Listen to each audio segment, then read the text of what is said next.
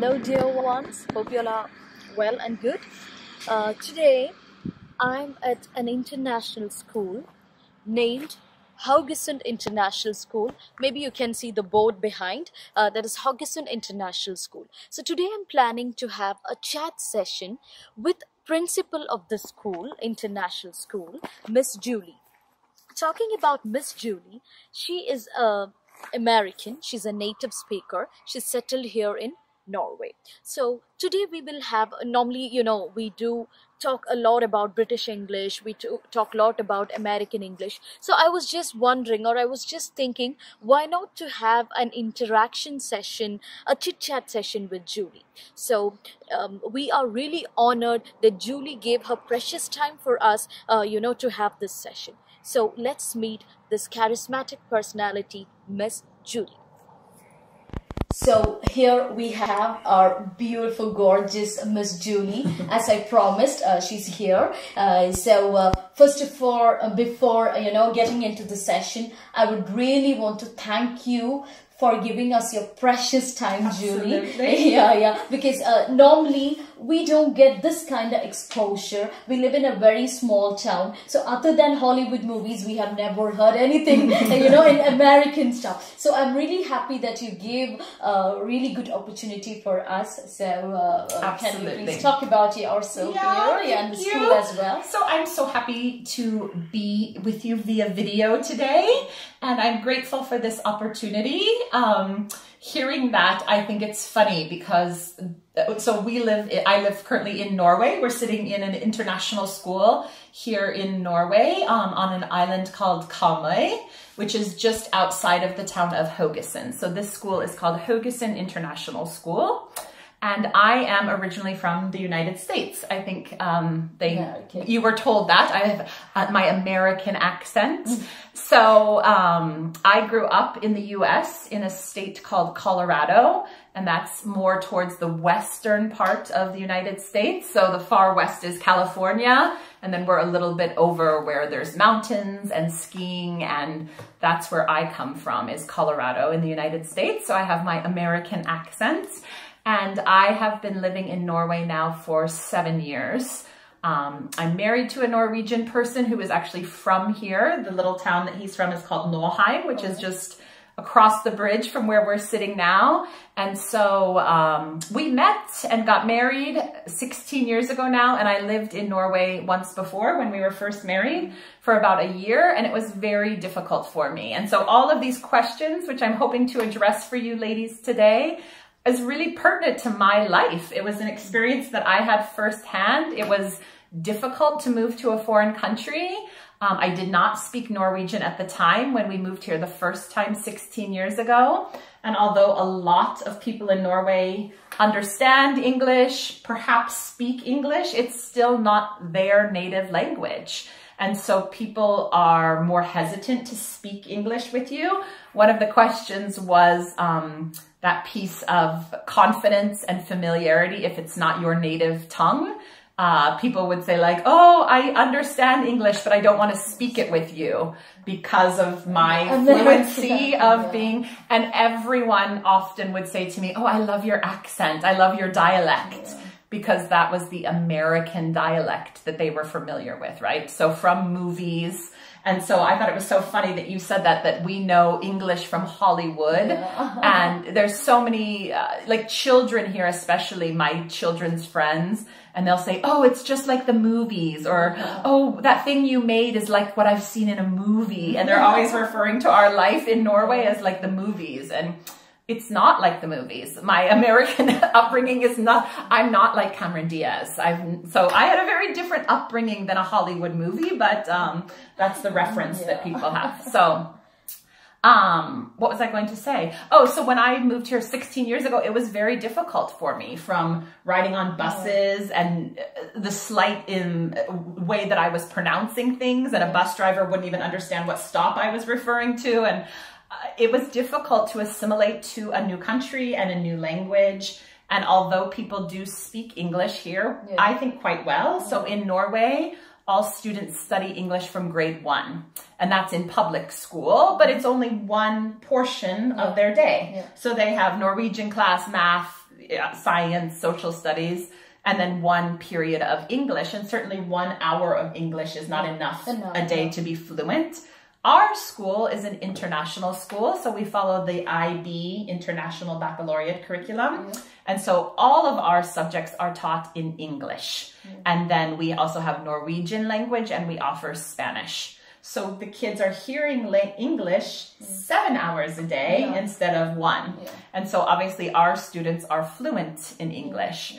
Um, our school has a variety of backgrounds. So we're a very small school. We have under 100 students, but we're very diverse um, between our staff members. So we have about 15 people on staff, teachers and assistants and administrative, yeah, receptionists. And then all of the students and all of their parents, when we look at the total population of our community, we have over 35 countries represented Wow. and 100 people so or more than 100 obviously with all the parents but it's it's quite diverse Yeah. and it's really exciting to have such a diverse background at this little right. town Yeah. in This little in Norway. countryside, we yeah, say. yeah, it's yeah. it's very much like farmland, and there's more sheep I think out here than there are Yeah. people. Yeah, that's right. So, um, so I love the diversity of our school. I love that we have students from India, Yeah. we have students from Japan, we have uh, f- several students from Europe, European countries, Poland, Yeah. Mm-hmm. Czech Republic, um, the UK, and so we have all this. Do you need to pause it? Are you fine? Okay, sorry.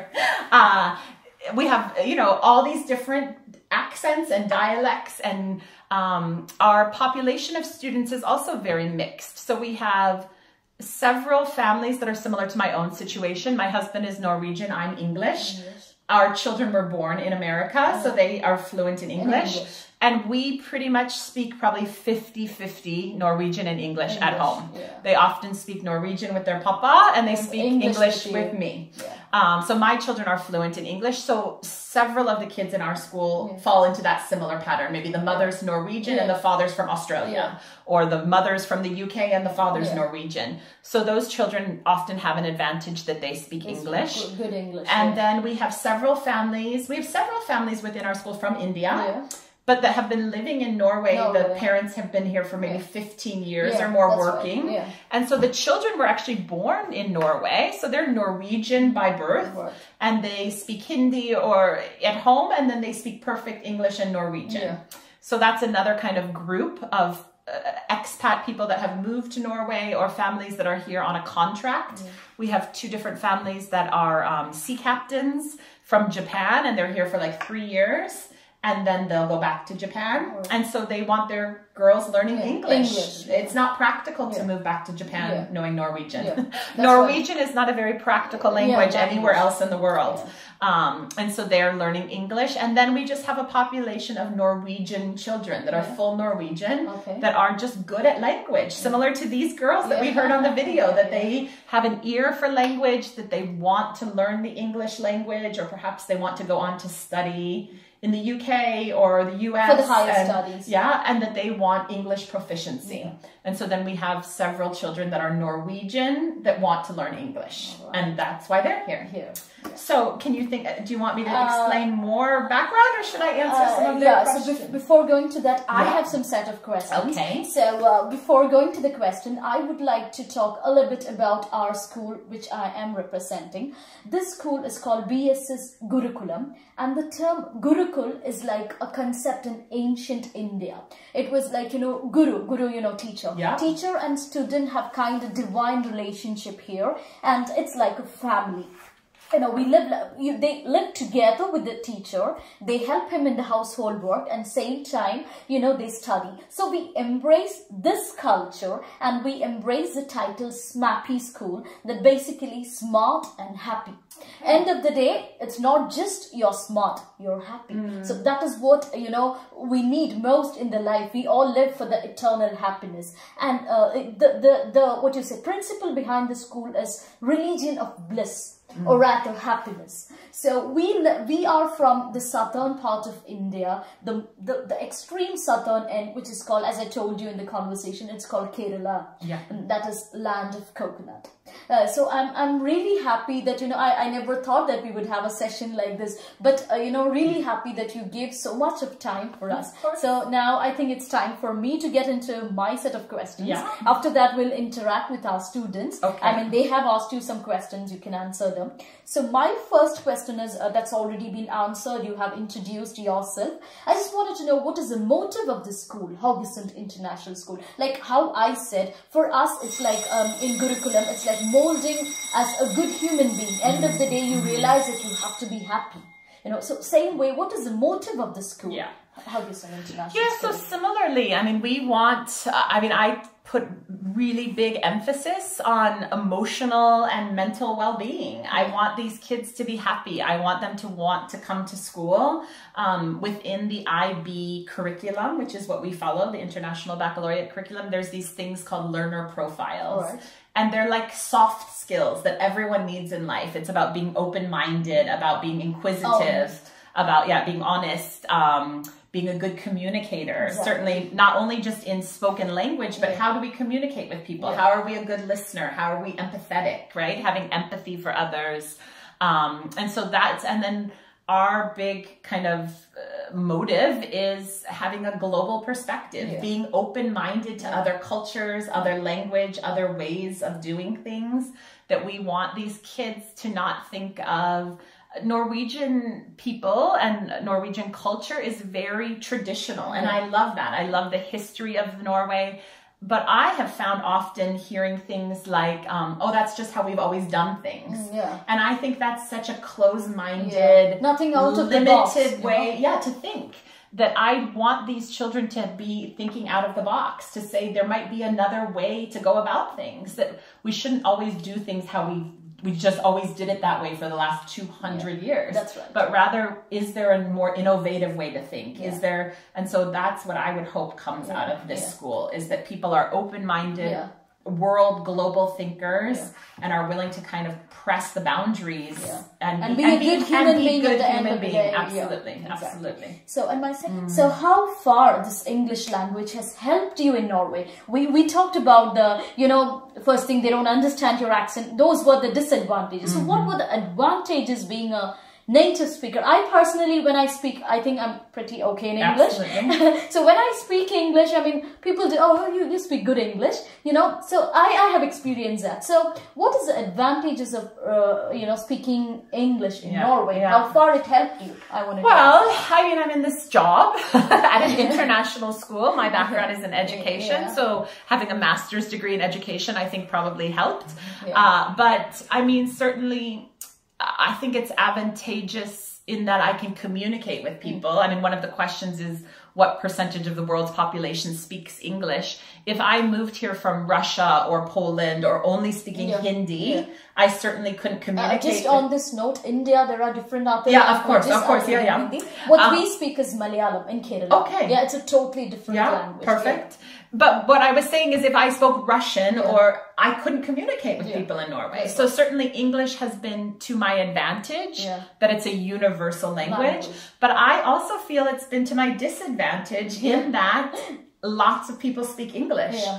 And so I feel like my Norwegian uh, confidence Yeah. has been limited because often if I get to a point where I Yeah. don't, if it's a difficult conversation, Yeah. if it's a Yeah. context or words that I'm, or especially if I'm on the telephone, I don't know if you ladies feel this way, but I think talking over the phone and not having a context for something, not seeing visuals or, but if someone's speaking fast in a foreign language on the phone, it's difficult Yeah, for me. that's right. And so often if it gets too hard, I will just say, kan du snakke engelsk? Yeah. Can you speak English? English, yeah. And then I just quit. Yeah. and then they This often say like, yes, well. no problem. So, you know, I'll call Utdanningsdirektoratet, which is like the head of education in Norway. And if it gets to be too difficult of a conversation, I'll just quit. Yeah. And I'll say, oh, can we just take this in English? English, yeah. So that's my advantage Yeah. because most people can. And the disadvantage is I should be better in Norwegian. You will always Yeah. be in your comfort zone and Yeah, don't yeah. want to get out of the Yeah. language. So if, but you know, if I only spoke Russian, Yeah. I would have to learn That's. Norwegian That's because right. they, I couldn't say Yeah, "Kan du snakke because you don't have any other Right. They, option. most people on the other line of the phone wouldn't say, "Yes, I can speak Russian," and answer me that way. But they can speak English, English. so that would So be my advantage. advantage. And disadvantage. disadvantage. Yeah, yeah. All right. My last question. Like as we said, we, we have a multicultural here in the school, uh, but there there is a tendency for pe- people uh, stay if, if we are in Kerala, so we have a tendency to speak in our mother tongue, Hmm. right? So here, though it is you know diverse culture, but still children do have a tendency to speak in Norwegian. So how do you make sure that the children stick to English? I mean, is there any strategy or is there any plans? Do you follow? Yeah, I mean, as far as Norwegian goes, I think to some degree we encourage that they also keep up with Norwegian. I mean, one of the things that I will say, especially for children that are going to be here for the long term, is that they do need to know Norwegian. Yeah. If you're going to live in Norway, you should know the language of your country. That's right. And so I think a lot, I mean, certainly in class, we encourage them to speak English. Yeah. But if they're out on the playground and it's in more social contexts, Yeah. if they're more natural speaking Yeah. Norwegian with their friends, I don't know that we limit it. Yeah. I think they kind of fall in and out of language naturally. Yeah, yeah. And so we just, uh, but certainly when it comes to the context of learning Yeah. and during the Norwegian block of language Yeah. time, they're only to speak Norwegian. Norwegian. And obviously, if they have questions or they're not Yeah. fluent and Yeah, they need yeah, to ask something ask in in English, of course they can ask.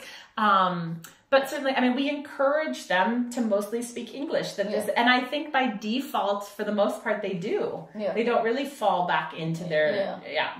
A couple children, mostly, you know, but like I said, we have girls from Japan. We have Yeah. uh, families from. We have two different families from Poland. Yeah. But I rarely hear those kids like speaking Polish with each other. I think it's almost reserved for their home. yeah. That's what they speak That's with their families. Family. Here And they here speak like English, and it's kind of the context and the domain for what they're for. So it's like when you walk through this door, everyone's speaking, Speaking English, English. and they just That's do kind of by default. Yeah, that's right. All right. So that's my questions. Okay. I'm done, and uh, I would like you to go to our students. Um, Yeah. They have asked some questions to Julie. So they are representing our whole school. So these are the questions which are st- whole. The we we are like two thousand students in the Yeah. school. You know, from the LKG, what they say, from the kindergarten Yeah. to the twelfth standard. Okay. So they are representing the whole crowd, Awesome. and um, we have uh, answers uh, here with Julie. Yeah. So first one is uh, Samreen. Samreen is from 11th grade. She has uh, some questions for Yes. uh, her.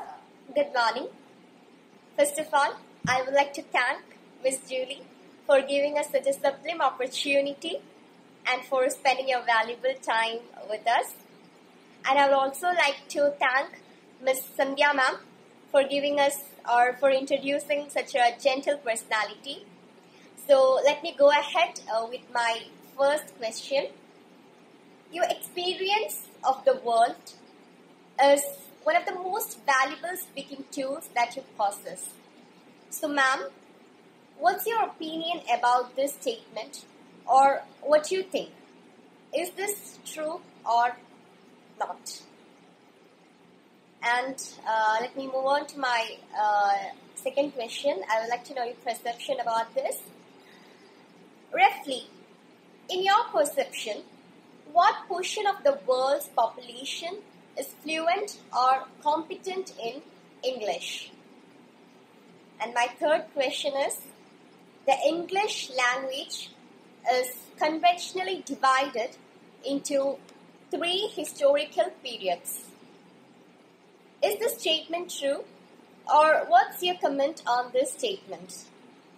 That's all as my part, and thank you so much. You can answer that. Okay, so first I wanted to tell you three ladies, I think you did an excellent job asking your questions. You're all beautiful and poised, and I think your English is excellent. So you should be very proud of yourselves. I was truly impressed. Um, but I also really just touched my heart at how polite you were and um, so thank you for recognizing both of us in terms of our Yeah. time and um, so I was I was really touched by your video and your questions but I also think that you're all very um, talented linguistically so keep it up so um, some, somebody Samreen from the 11th grade. Samreen, 11th grade, she had some difficult questions. I felt like I was being quizzed.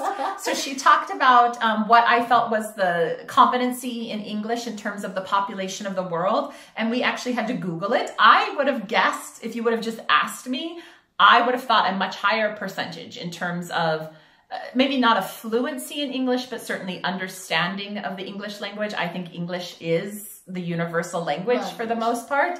Um, and so when I Googled it, it's saying only about 20% of the Earth's population speaks English. And if you would have just asked me off the top of my head, I would have guessed higher. Maybe. Clueless. yeah, I was I was clueless. So she asked me like a very explicit Yeah. question in terms of the population. She also asked about English language being divided into historical periods, and we both had thought we were only thinking kind of old English Yeah. and like And Shakespearean English. and then modern or current.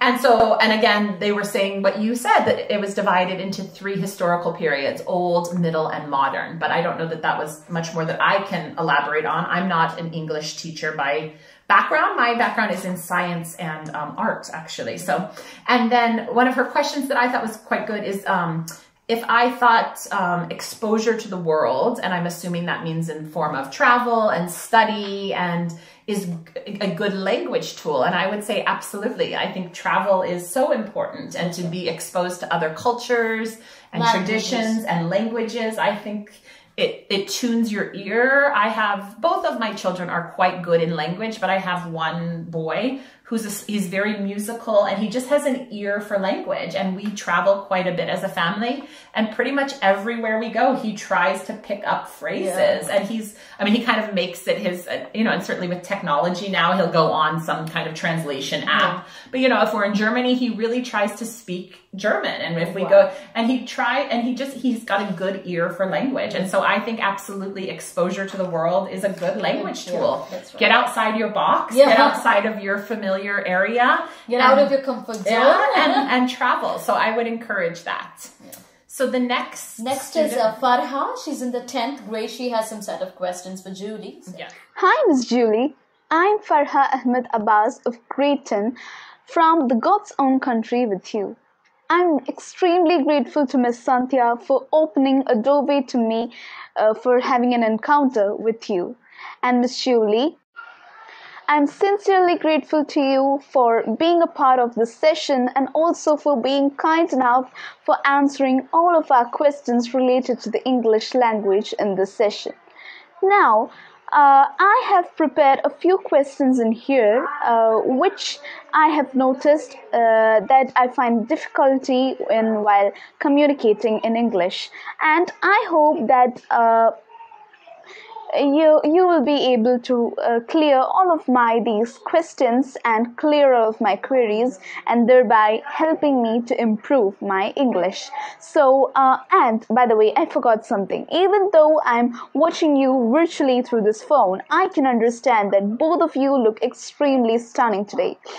So yeah back on to the point.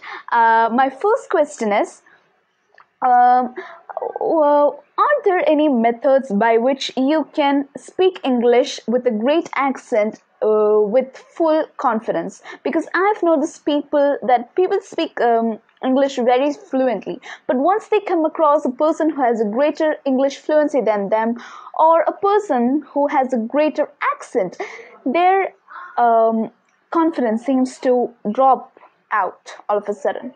And that is not good because uh, in such a situation the person uh, the other person starts to mumble and they may say something awkward and it's a total awkward scene. So uh, i want you to give me simple quite a few tips on how to uh, avoid such a scenario and and how to improve our accent and uh, fluent um, confidence while speaking in english. Okay now my second question is uh, how can you uh, now my second question is uh, what do you feel uh, when you hear english from a different accent?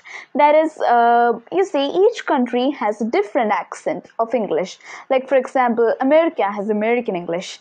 Britain has british english Australia has Australian English and India has Indian English.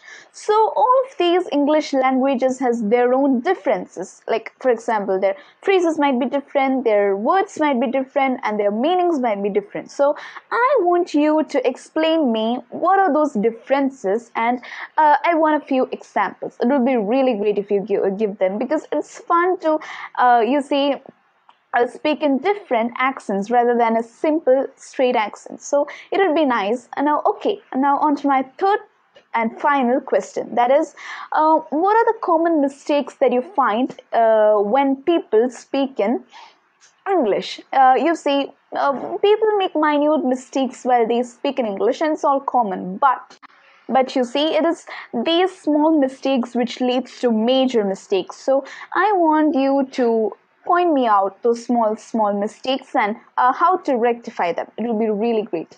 Now i have this additional question which would be really nice if you answer me and that is uh, what are your thoughts on indian english? Like you see uh, when indians speak english it is true like the, uh, the Indian may be, however, however qualified they may be, when they speak, most of the Indians put a small a small pinch of Indianism into it.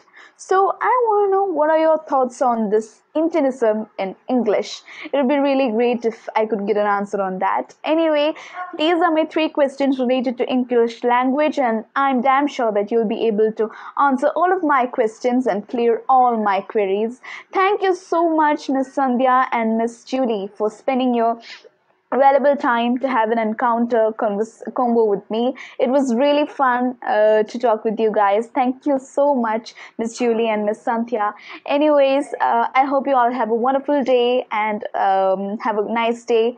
Thank you so much. Stay safe and um, have a nice day. Thank you. Bye.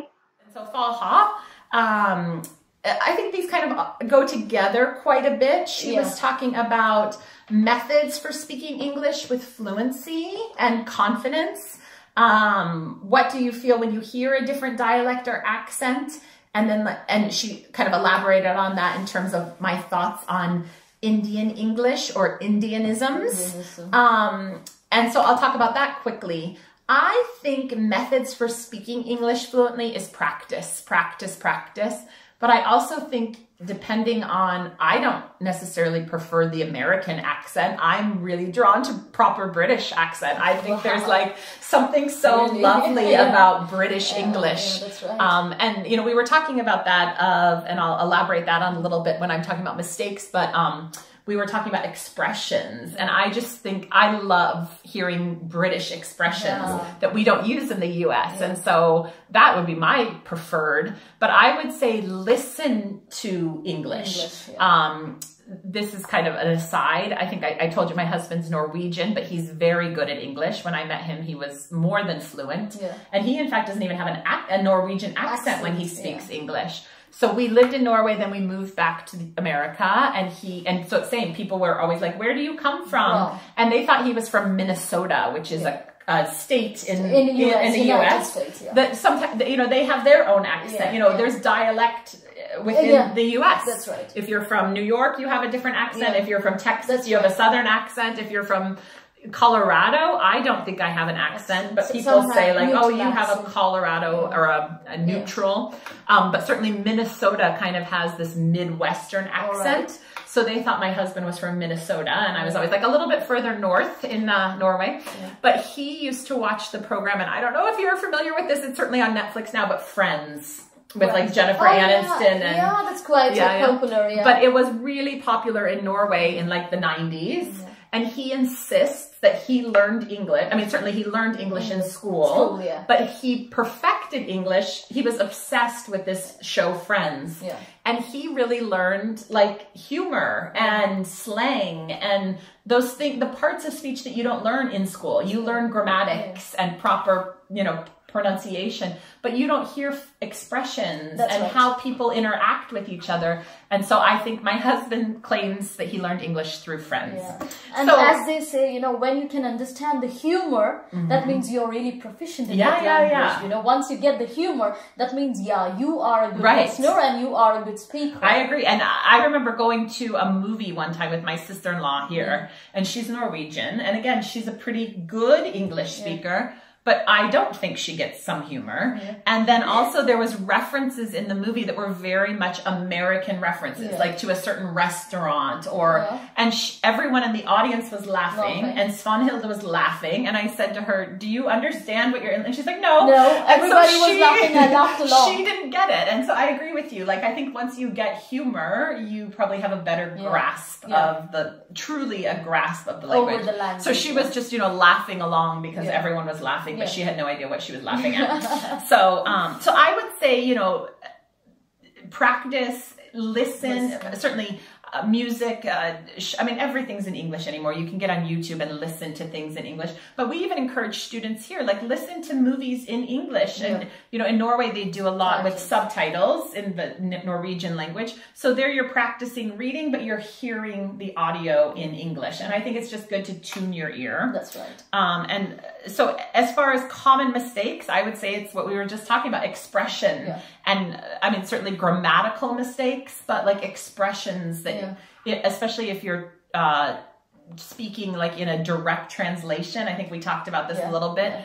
Translating direct from how you would Mother say it. to Yeah. English. And that that's not the expression. Yeah. So I gave the example. My husband, I don't know if you'll, your girls will get, you girls will get this, but my husband was saying, stick with me. Like, let's stick it out. Like, stay by my side and Yeah. we'll get through this together. And instead he said, stick to me, which literally means like Glued to glued you. to my side. And that's not the right expression. So I would say the common mistakes might be expressions and like like literal how I discussed about the translation. pass out thing to you. Yeah, yeah. You know, pass you- out. yeah, if if I you- say, you know, pass out, you'll be like, "How are you okay? Right. Everything was okay that day." You know, the same thing. And uh, same one more grammatical thing. What I noticed in India is like using of beside and besides. All right, Julie is sitting beside me. Mm-hmm. So sometimes they use she's sitting besides me. Besides meaning other than that. Besides the trees, beneath the lake in William in uh, William Wordsworth poem. Yeah, so yeah. besides is different and beside is different. Absolutely. So these are the Indian Yeah. is something the expressions would Yeah. normally we use. Yeah. but I think there will be mistakes made. So it's, and I wouldn't worry about it. Yeah. So as far as that, and that will just tie back to what Farha was asking about, is that confidence piece. And I would just encourage you ladies just to be confident. Like I said, you all are gorgeous and such good speakers. And I see young girls, I feel sometimes more so even with girls. Um, so I have two teenagers. I have a 14 year old girl and a 13 year old boy. All right. And I'm not trying to be sexist in any way, Yeah. but the boys tend to not have as much inhibition. Yeah. They'll they hear music, they watch movies, and they're more play willing. games. Yeah, they're gaming especially. They're more willing to speak English to me. Yeah. And the girls that come into our home are much more hesitant. And I try to encourage them and tell them what a good job they're doing. And so I would just say be confident in yourself and just try. And I think there's something so beautiful about strong women that are confident in That's who right. they are. And but um, I really want girls to have a voice and to That's speak right. out and be proud Yeah. that they have an opinion and they have something to say. And so that would be my encouragement to you. Yeah. And so then Uh, Alina. Alina. Good morning, ma'am. It's an honor to have an interview session with you. So, these three questions which I'm going to ask is really from my life experience.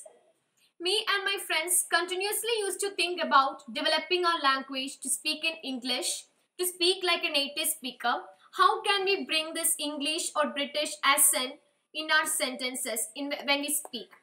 So, my first question is in our country, we speak English in a slightly different manner or in a different accent. So my friends used to ask me about speaking English exactly in British or American accent.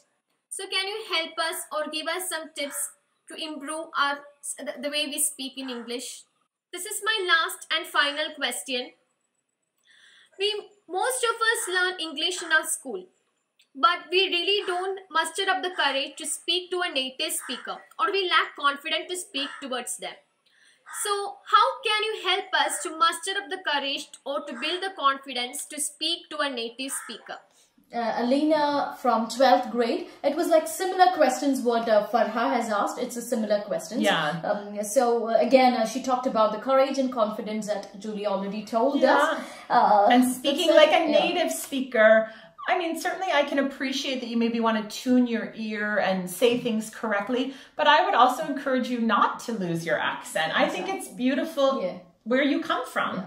And so don't speak like an American because you're not an American. I think it's wonderful to have an accent. A neutral accent is better, yeah, you know? that identifies, but but certainly, I mean, if you want to be proficient in your language so that people can understand, that's important. But I would never encourage anyone to lose who they are. Yeah, the Yeah. identity. Yeah. indeed. Yeah. So I think that's it. Uh, I think Julie has answered beautifully all the answers. So yeah. So uh, this session was, uh, you know, why I aimed this session is to enhance your listening skills. You know, so that was the you know main point what I aimed at this. All right. So mm, thank you again, Julie, for your time. I re- I don't know how to thank you for this, and I just want to mention also our mentor, our principal is Dr. Vijayan sir. He is the one who has you know who is a pillar and strength of our school. Hmm. So I really want to thank you, sir, again for giving me an opportunity to talk and interact with my children as well. Absolutely. Yeah. It was so nice to see all of you, and I hope this was helpful. I was trying to speak slowly. I did not jump very yeah, fast. Yeah, yeah. yeah. So hopefully you can understand. Yeah, yeah. But okay, have a good day. Same to you. Bye bye.